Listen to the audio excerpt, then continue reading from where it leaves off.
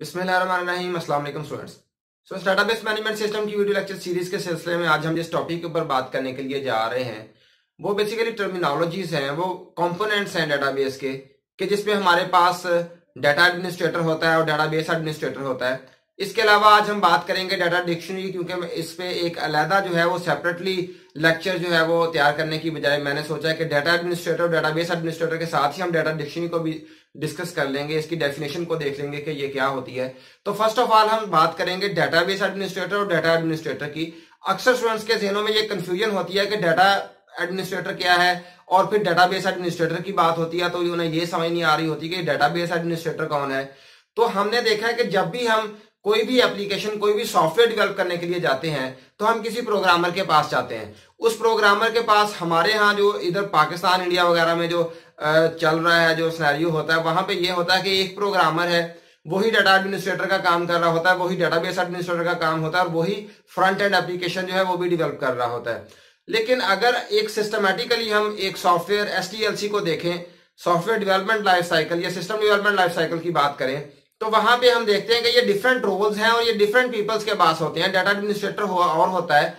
Database administrator और होता है। इस तरह से एप्लीकेशन प्रोग्रामर होता है एनालिस्ट और है। ये तमाम के तमाम लोग जो है, ये डिफरेंट रोल्स को परफॉर्म करते हैं। लेकिन हमारे यहाँ जो है, जो चल रहा है, जो स्नैरियो चलता है, जो आमतौर पर हम काम करते हैं कि एक ही बंदा तमाम के तमाम जो है, वो रोल्स को परफॉर्म कर रहा होता है। तमाम के तमाम फ़ंक्शन एक ही बंदे की जो है, वो रिस्पॉन्सिबिलिटी कर दिए जाते हैं कि भाई आपने ही सारा कुछ करना है। तो डेटा एडमिनिस्ट्रेटर जो है, वो एक छोटा रोल है, जबकि डेटा बेस एडमिनिस्ट्रेटर एक बहुत बड़ा रोल है।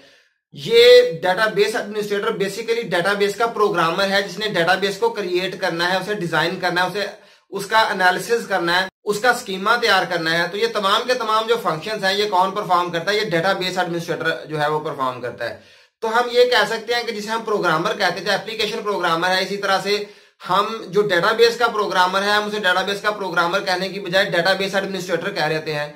तो चलिए आइए हम इसके फंक्शनैलिटी के डिफरेंट जो रोल्स हैं, जो डाटा एडमिनिस्ट्रेटर जो परफॉर्म करता है, जो फ़ंक्शंस परफॉर्म करता है, जो उसकी रिस्पॉन्सिबिलिटीज हैं, इसी तरह से डाटाबेस एडमिनिस्ट्रेटर की मुख्तलिफ़ रिस्पॉन्सिबिलिटीज हैं, उसके डिफरेंट रोल्स हैं, उसके डिफरेंट फ़ंक्शन हैं, उन्हें वन बाय वन देखते हैं। तो सबसे पहले हम बात करते हैं डाटाबेस एडमिनिस्ट्रेटर की। तो डाटाबेस एडमिनिस्ट्रेटर क्या क्या काम करता है? Database administrator also known as database coordinator और डेटाबेस प्रोग्रामर तो इसे डेटाबेस कोऑर्डिनेटर भी कहा जाता है, या फिर डेटाबेस का प्रोग्रामर भी कहा जाता है। ये बेसिकली एक टेक्निकल बंदा होता है टेक्निकल पर्सन होता है। टेक्निकल सीट है जहाँ पे ऐसा बंदे को हायर किया जाता है, जो कि डेटाबेस की टेक्निकलिटीज को समझता हो, जिसमें ये कैपेबिलिटी हो कि वो डेटाबेस को डिवेल्प कर सकता हो।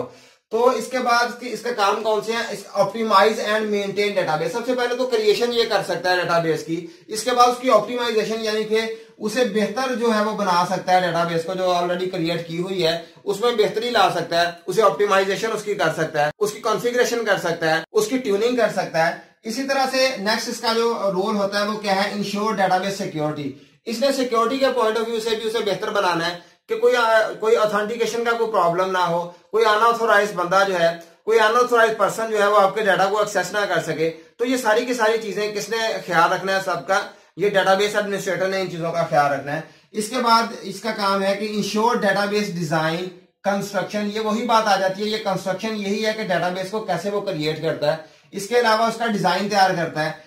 It ensure the security backup and recovery and performance tuning तो परफॉर्मेंस ट्यूनिंग जो है वो बेसिकली ऑप्टिमाइजेशन में ही ये आ जाती है परफॉर्मेंस ट्यूनिंग भी। तो इसके अलावा हमने देखा कि डिज़ाइन तैयार करना है। उसकी कंस्ट्रक्शन है डेटाबेस की। इसके अलावा सिक्योरिटी का हमने देखा कि अनऑथराइज जो यूज़र हैं, उन्हें ब्लॉक करना है। इसके अलावा बैकअप एंड रिकवरी जो डेटाबेस हम इस्तेमाल कर रहे हैं तो डेफिनेटली वो किसी मीडिया पे स्टोर हो रहा है, चीज़ों को डाटा जो हमारा स्टोर हो रहा है। तो हमें चाहिए कि भी उसका डे टू डे या आर टू आर जो हम उसका बैकअप लें। बैकअप ये होता है कि जिस मीडिया पे हम जो मेन जो मीडिया हमारे पास, जहाँ पे हम डाटा को स्टोर करवा रहे हैं, उसके अलावा भी हम किसी जगह पे स्टोर करवाएँ। फॉर एग्ज़ाम्पल अगर हमारा जो मेन मीडिया है अगर वो खराब हो जाता है तो हम दूसरी जगह से जाके तो रिकवर कर सकें उसे। तो ये बैकअप एंड रिकवरी ये भी करवाना किसकी ज़िम्मेदारी है? डेटाबेस एडमिनिस्ट्रेटर की ज़िम्मेदारी है। इसके अलावा परफॉर्मेंस ट्यूनिंग हम पहले ही कर, बात कर चुके हैं कि हमारा जो भी हम डेटाबेस को तैयार कर लेते हैं कंस्ट्रक्ट कर लेते हैं फिर हम उसके उसके अंदर बेहतरी ला सकते हैं। उसके जो ट्यूनिंग कर सकते हैं तो ये भी किसकी ज़िम्मेदारी है? डेटाबेस एडमिनिस्ट्रेटर की ज़िम्मेदारी है। It enforce policy and procedure तो डेफिनेटली इसने तमाम की तमाम पॉलिसी जो है डेटाबेस को इस्तेमाल करने की, जो ऑर्गेनाइजेशन है, उसे पॉलिसी बना के देनी है कि भाई किस तरह से हमने डेटाबेस को यूटिलाइज करना है, किन लोगों ने करना है और कैसे करना है। इसके अलावा ये टेक्निकल पर्सन होता है कि भाई इसके तमाम जो टेक्निकलिटीज जो है डील करता है डेटाबेस एडमिनिस्ट्रेटर इसके बाद हम बात करते हैं डाटा एडमिनिस्ट्रेटर की।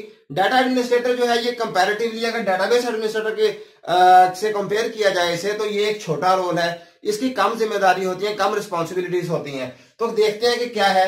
It it analysis the data data analyst होता है बेसिकली ये डाटा एनालिस्ट भी कह दिया जाता है डाटा एडमिनिस्ट्रेटर को। तो बेसिकली इसने डाटा को देखना है डाटा के फ्लो को देखना है कि डाटा कहाँ से आ रहा है कहाँ पे जा रहा है कि कौन डाटा को किस तरह से यूटिलाइज कर रहा है। इसके बाद ऑप्टिमाइज एंड मेंटेन डेटाबेस तो कुछ रोल्स ऐसे हैं कि वो दोनों की ज़िम्मेदारी जो है वो डेटाबेस एडमिनिस्ट्रेटर की भी वो रिस्पॉन्सिबिलिटी है और डाटा एडमिनिस्ट्रेटर की भी है तो ये वाला रोल जो है ऑप्टिमाइज एंड मेंटेन डेटाबेस जो है, ये दोनों की ही रिस्पॉन्सिबिलिटी है।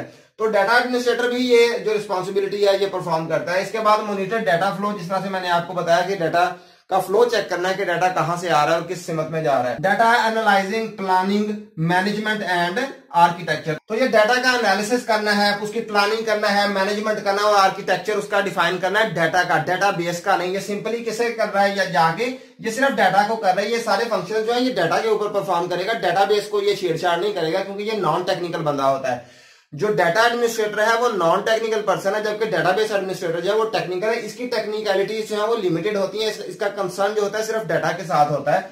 सेट पॉलिसीज़ एंड स्टैंडर्ड इसने डाटा की पॉलिसीज़ सेट करनी है। डाटा के रिलेटेड जो स्टैंडर्ड्स हैं, वो उसने तमाम के तमाम लोगों को, जो पर्सन जो है, वो डाटा के साथ, जो ऑर्गेनाइजेशन के डाटा को मैनेज कर रहे हैं उनकी इसने पॉलिसीज़ को डिफाइन करना है, उनके स्टैंडर्ड्स बनाने के भी डाटा का एटलीस्ट जो है ये वाला जो हमारी रिक्वायरमेंट है उसके मुताबिक जो है वो आप, आपका डाटा होना चाहिए। परफॉर्म हाई लेवल फ़ंक्शन तो इसने टेक्निकलिटीज में नहीं जाना इंटरनल जो कॉम्प्लेक्सिटीज हैं उसमें इसने नहीं जाना इसने हाई लेवल पे जो एप्लीकेशन लेवल पे जो चीज़ें होती हैं उन्हें इसने डील करना है। इसके अलावा ये मैंने पहले बताया कि ये नॉन टेक्निकल होता है लीस्ट टेक्निकल पर्सन होता है as compare to database administrator इसके बाद हम डाटा डिक्शनरी की बात करते हैं। डाटा डिक्शनरी क्या है? डाटा डिक्शनरी स्टूडेंट्स जो है, ये एक इलेक्ट्रॉनिक रिपोजिटरी होती है, जिसमें मेटा डाटा स्टोर होता है। मेटा डाटा मैंने पहले भी कुछ लेक्चर्स में आप लोगों को बताया कि मेटा डाटा क्या होता है? Data about data is called meta data जिसमें डेफिनेशन होती है डाटा की रूल्स होते हैं। जिस तरह से फॉर एग्ज़ाम्पल जो डाटा स्टोर होता है एक डाटा बेस है, उसमें कितने टेबल्स हैं, उन टेबल्स के नाम क्या है, उनके कौन कौन से कॉलम्स हैं, उन कॉलम्स की क्या क्या जो है, वो डाटा टाइप्स हैं, उन कॉलम्स में कौन कौन से कॉन्स्टेंट्स लगे हुए हैं किन किन टेबल्स के दरमियान में रिलेशनशिप है? और इसके रिलेटेड तमाम चीज़ें, जो भी डेटाबेस की डेफिनेशन के मुतालिक होंगी, कुछ रूल्स रेगुलेशन होंगे, कुछ प्रोटोकॉल्स जो भी होंगे स्टैंडर्ड्स होंगे, वो कहाँ पे स्टोर करवाए हुए होते हैं? डाटा डिक्शनरी में जो है वो स्टोर करवाए हुए होते हैं। रिपोजिटरी ऑफ़ इन्फॉर्मेशन डेफिनेटली जैसे मैंने आपको पहले बताया कि इलेक्ट्रॉनिक रिपोजिटरी है, इसमें इन्फॉर्मेशन स्टोर की हुई होती है मेटा डाटा कंटेन करती है। कंटेन डेटाबेस स्कीमा इसके अंदर डेटाबेस का स्कीमा सारे का सारा स्ट्रक्चर जो होता है, जो उसका आर्किटेक्चर होता है, वो कहाँ पे स्टोर होता है, वो भी डाटा डिक्शनरी के अंदर ये इंतहाई अहम कंपोनेंट होता है डेटाबेस का। इसके अलावा use to create and process database तो डेफिनेटली अगर डाटा डिक्शनरी नहीं है तो वो डेफिनेशन कहाँ से जाके लेगा? जब हम खोलते हैं अपने टेबल को खोलते हैं तो उसे कहाँ से वो जाके उठाता है कि ये कॉलम्स का डाटा कहाँ पे है, इसकी कौन सी डाटा टाइप है, किस किस्म का डाटा है, इस पे कौन कौन से कॉन्स्टेंट्स है, इसकी डोमेन क्या है, इसकी कार्डिनलिटी क्या है, तमाम की तमाम चीज़ें जो है कहाँ पे स्टोर होती है? डाटा डिक्शनरी में स्टोर होती है। जब हम डाटाबेस को चलाते हैं तो जहाँ पे भी डाटाबेस का डीबीएमएस जो होता है डाटाबेस मैनेजमेंट सिस्टम उसे जहाँ पे भी किसी चीज़ की डेफिनेशन की ज़रूरत होती है, कहाँ से जाकर उठाता है? डाटा डिक्शनरी में से जाकर उठाता है। तो हम इसे एक इलेक्ट्रॉनिक रिपोजिटरी कहते हैं। तो स्टूडेंट्स उम्मीद करता हूँ आपने डाटाबेस एडमिनिस्ट्रेटर डाटा एडमिनिस्ट्रेटर और डाटा डिक्शनरी के मुताबिक अच्छी तरह से सुना होगा, समझा होगा और अंडरस्टैंड किया होगा। इंशाल्लाह ताला नेक्स्ट लेक्चर में किसी नए टॉपिक के साथ हाजिर होंगे। तब तक के लिए अल्लाह हाफिज।